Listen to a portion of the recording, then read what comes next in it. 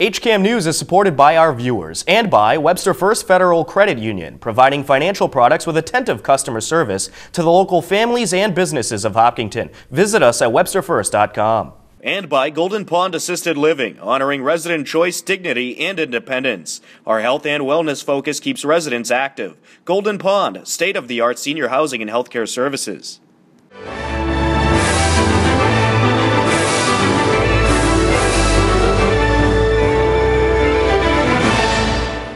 Hello, and welcome to HCAM News. Tom Nappy at the anchor desk to keep you up to date with what's happening in Hopkinton. On this edition of HCAM News, an interim library director was named. Hopkinton Middle School students and teachers battled it out on the basketball courts. We have the Greyhound Friends Pet of the Month, and Hopkinton Middle School hosted their annual March Talent Show. But first, for the 10th straight year, Hopkinton Police and Hopkinton Special Olympics met up for a basketball game. And once again this year, the police struggled to keep up with the very talented Special Olympic athletes.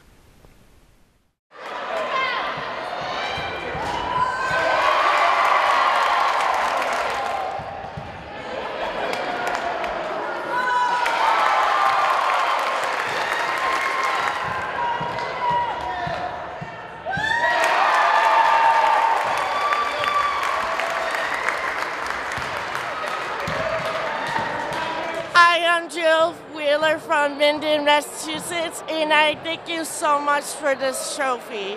Thank you. Did you have fun out there today? Yes, You like playing basketball?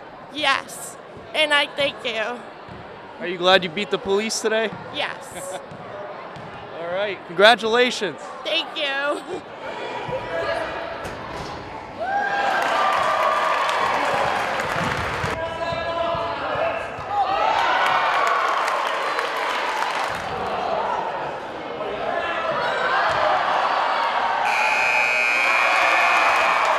Yeah, it uh, it really is the highlight of our season. As uh, you know, the season begins in November, extends a few months, and the, the with all of the community games we play, with the uh, state games that we get involved with, uh, really the highlight of the season has always been and continues to be the game against the Hopkinton Police. Uh, it's a wonderful town-wide event uh, with great support from the community, and the police have been over and above in their efforts in uh, working with our athletes. It's wonderful. Now I know all the kids have a really good time out there. Uh, how long are they talking about this game uh, leading up to it? It's, it's pretty much all they talk about uh, since uh, December rolls around because they know as the season progresses that the end of the year is going to be their big game against the police department, and they're always very concerned about maintaining the winning streak that we always seem to have. So the kids are from the beginning of the season, but but it really the energy ramps up around the holidays. Absolutely. Now the police uh, they came out on the short side once again. They just can't seem to get a break. Indeed, they can't get a break. Uh, I- as I've as I've told Chief Lee, he's got to get these guys to be a little more active playing basketball because it's it's a little it's a tough sport to play if you don't play it regularly, which is why it's always a, a tough game for them against our athletes.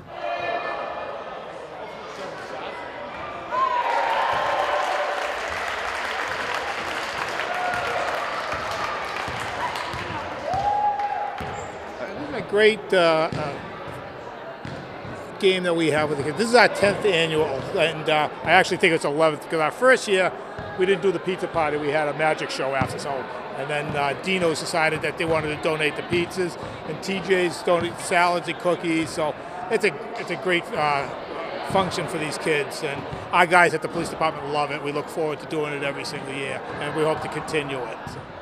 Now this event always uh, looked forward to uh, by the Special Olympics and the police. They must really look forward to this as well. Oh yeah, yeah, it's a challenge. We lose every year, but you know uh, we'll have to work on our athletic skills. You know, so uh, uh, continue to do it. Well, hopefully next year we'll be here again. And uh, May 14th we have a fishing derby for the kids too. So and that will be down at the Hopkins Sportsman's Club on Lumber Street. Excellent. So, are, is there going to be more basketball practices to maybe actually win a game one year? Or? Yeah, we have to. We'll have to. Uh, some of the uh, hiring at the police department that, that may have to be part of the interview. You know, maybe we'll have to get them out on a basketball court before they get hired with us. So, and we might have to go with some height too. Well, as they always say, there's always next year. It's always next year. We say that every year. Thank goodness there is a next year. All right. Thanks All a right, lot. Thank you so much.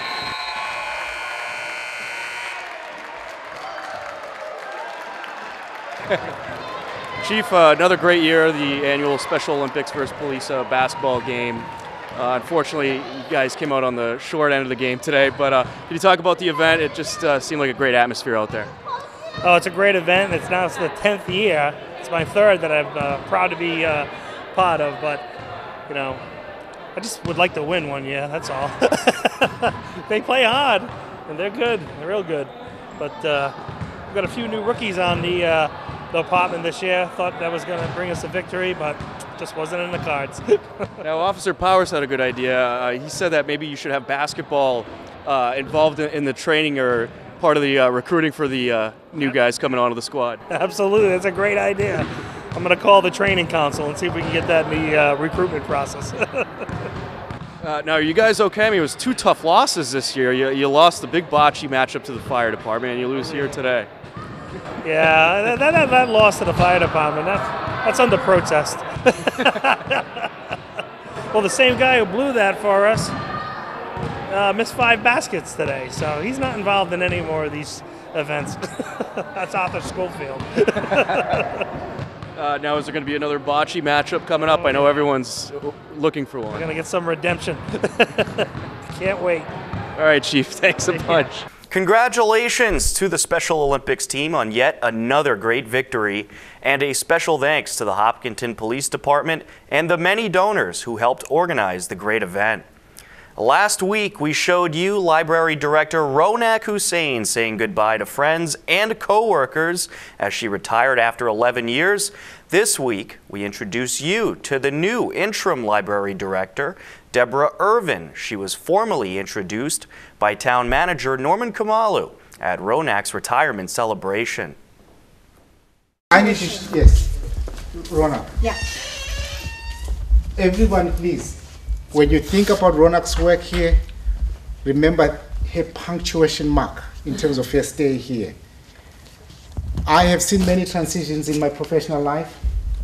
The transition that we have experienced at the library is one of the smoothest, seamless I've ever been part of. Ronak working together with Town Hall, HR, and the library staff have helped us identify an interim temporary library director. We would not be at this point without Ronak's willingness to give of her time, of her resources, even when she was planning and working on getting her stuff over to uh, Carolina. Uh, and I'm happy to say we have Deb uh, here with us, who is going to be the interim library director.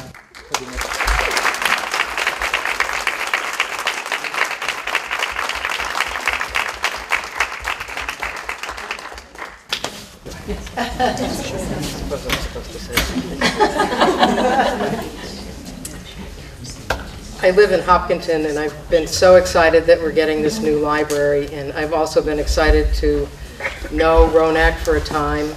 Library land is very small, so I've seen her at meetings and occasionally have a chance to talk with her, and uh, she's just done a huge amount for this town and, um, and and for the library. So I'm happy to keep her well-oiled machine um, oiled. She has, uh, again, done so much with the staff. The staff are fantastic. They're very capable of, of doing everything all on their own, but um, I was pleased to be asked, and um, so I'll see many of you, I hope, in months to come.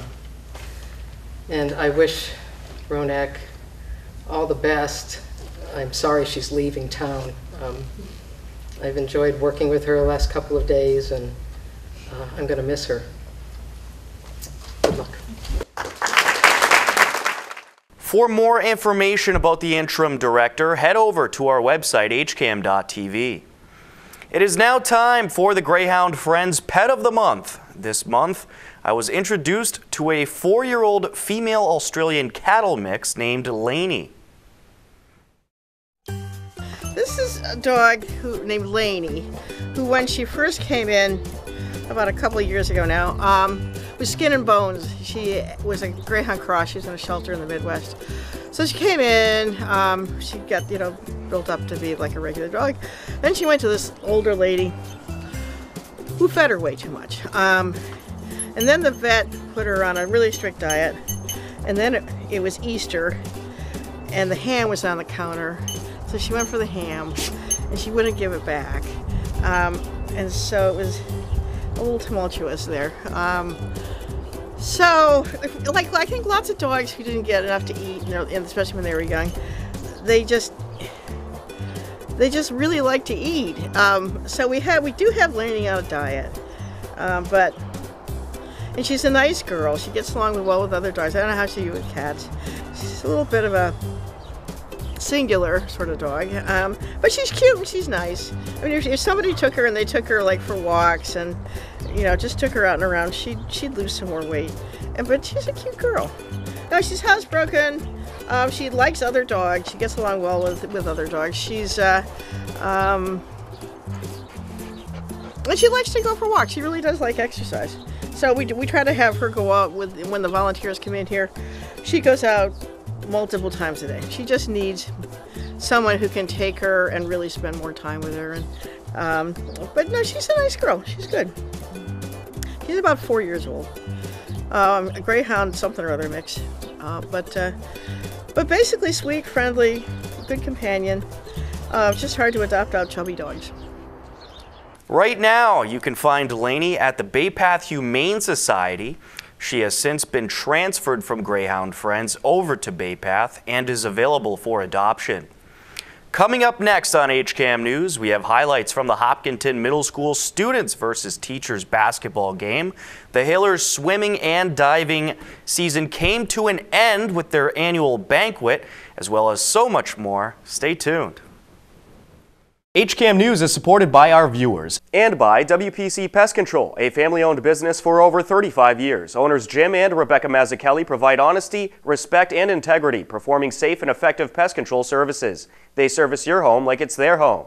And by Hopkinton Drug, located in this historic New England town since 1954. They are a multifaceted store dedicated to providing clients with an array of healthcare options. We are the girls from Girl Scout Troop 72969 from Hopkinton. We would like to thank Mr. Trojan for the awesome tour of the HCAM studio. If you are interested in fun and adventurous field trips, we recommend 1. Join a Girl Scout troop. And 2. Visiting HCAM to see how local television is created and produced. We also want to give a shout out to Colella Supermarket to thank Dale for our Girl Scout troop tour. And for always giving us a space to set up our cookie booth. Welcome back to HCAM News. And this week's sports highlights, the Hopkinton High School swimming and diving team hosted their end of the season banquet. But first, Hopkinton Middle School teachers and students met up on the basketball court for the 15th year in a row to benefit Project Just Because. Hopkinton Middle School students and teachers battled it out on the basketball court for Project Just Because. The organization provides programs and services for families, children, and seniors. The teachers have won the game since it started about 15 years ago. Could they do it again?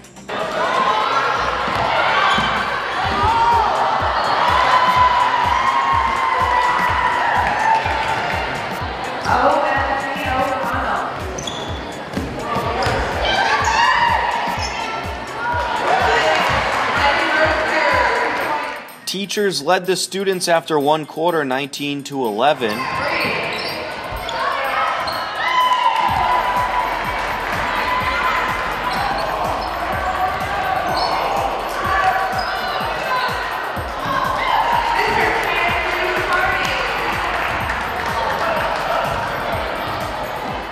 At the half, it was 32 to 24 teachers.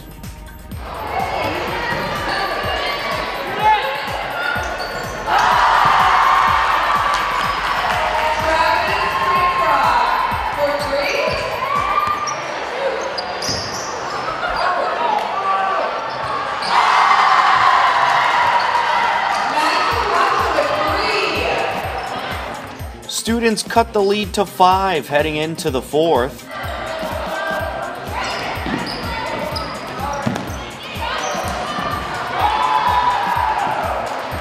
It was a great game, but in the end, the teachers took the victory 71 to 58. So a uh, great game out there. It looks like the students gave you a challenge this year. Uh, they sure did. They sure did. Uh, we've run this event. We've won this event 15 years in a row now since I've been here, since we started this event. But the kids gave me gave us a really good game today. They really shot the three well. That hurt us. They got pretty close at the end there, but uh, we pulled away as always. Could you talk about the event uh, today and what it was all about? Yeah, it's uh, to benefit uh, Project Just Because and uh, the HMS Best Buddies program, which I am the uh, faculty advisor for. So it's a really great event. Last year we raised uh, just about $500, and I'm thinking based on the crowd we saw here today, we're going to be at that number or even more. So all that money will go to Project Just Because and the Best Buddies program here. All right, how did it feel hitting the floor again? Oh, it was good. It was good. Uh, we're getting old, that's for sure. All right, thanks a, thanks a bunch. After another tremendous season, the Hopkinton Hillers swimming and dive team held their end of the season banquet. Awards and prizes were given out as the great season officially came to an end.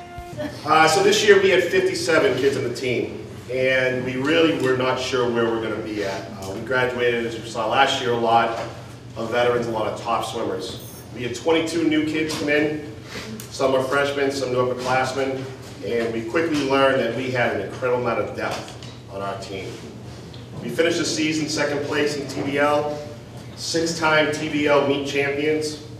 Co-ed, we were six and one, girls were five and one, boys were two and five, and I'm pretty sure we were six for six on prom dates. A new stat we kept this year, 354 is how many times Kavi said literally, and 287 how many times she said actually. New team records.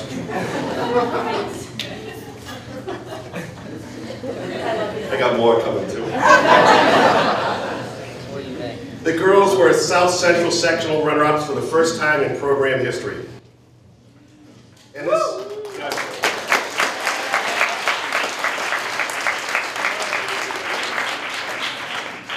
by one point. The girls team will be recognized as National Scholar Team Gold Award winners for the eighth year in a row with an average GPA of 3.986.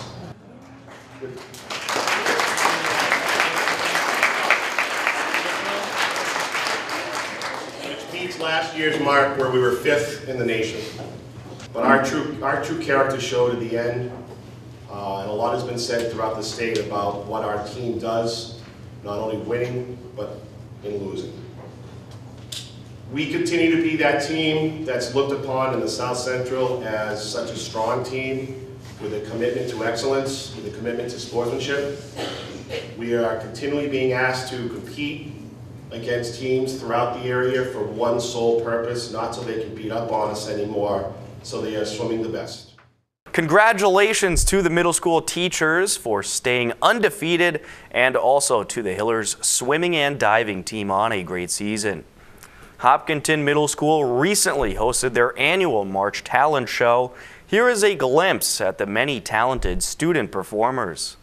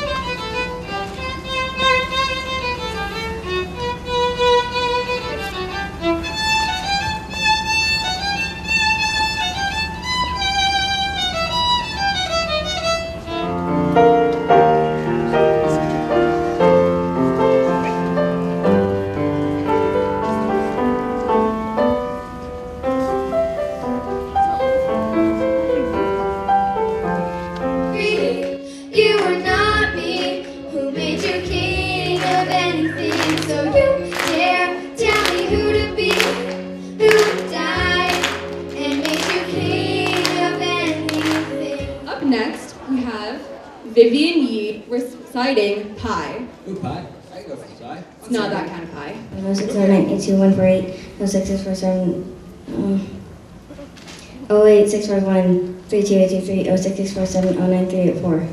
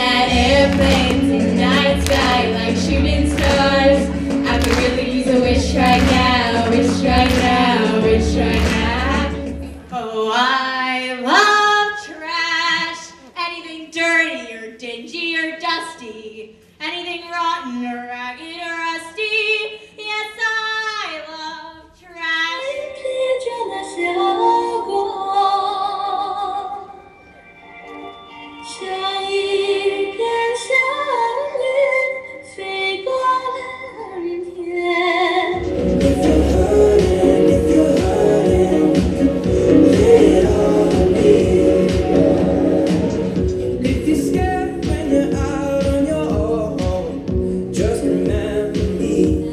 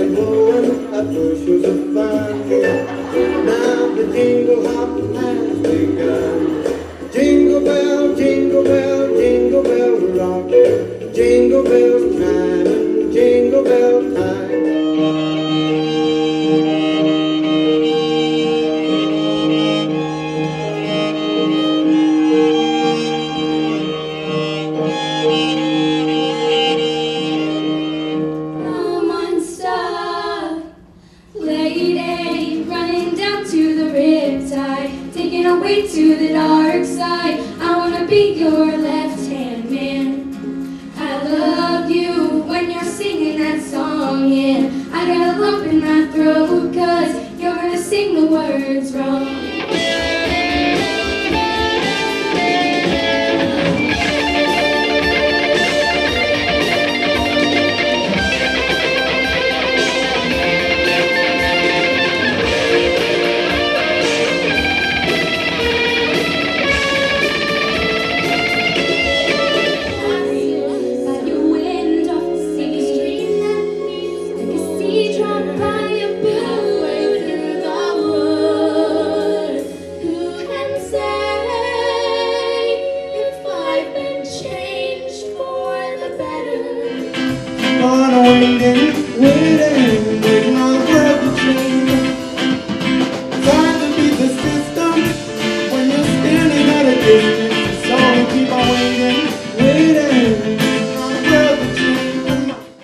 The Middle School Talent Show is one of the many programs you can catch coming up on the HCAM channels. To tell you what else to expect, here is Courtney with our HCAM Insider. Hello, everyone, and welcome to the latest edition of the HCAM Insider. On Friday, March 25th at 8 p.m., Deb Thomas joins the Hopkinton Coffee Break hosts to discuss the Girls on the Run program. Basically, it is an, um, an after school program primarily that runs for 10 to 12 weeks. Mm-hmm. That its primary goal and vision is to inspire young girls to be all that they can be. On Saturday, March 26th at 1:30 p.m., it's girls basketball versus Notre Dame Academy and their semifinal game. On Monday, March 28th at 7 p.m., audience members take the stage for open mic in a new Wake Up and Smell the Poetry.